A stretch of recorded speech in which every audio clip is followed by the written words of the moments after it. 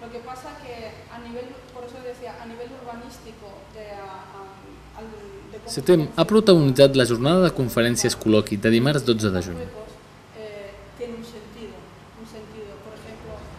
Fàtima Ahma ha explicat la situació de la dona marroquina als països del nord. A partir de los 90, Marruecos tiene una inmigración femenina. Las mujeres se meten en una patera, o vienen con un visado, o vienen como estudiantes, pero son mujeres que tienen un proyecto suyo propio decisorio.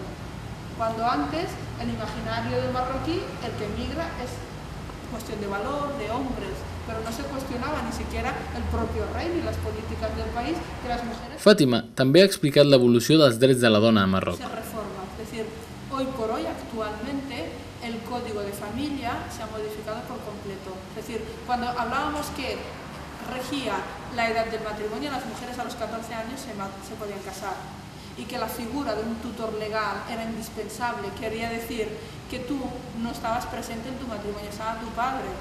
Por lo tanto, estos factores que discrimi- discriminaban de alguna manera a la mujer es lo que se ha reformado. Actualmente, a partir del 2004, la figura del tutor legal deja de existir.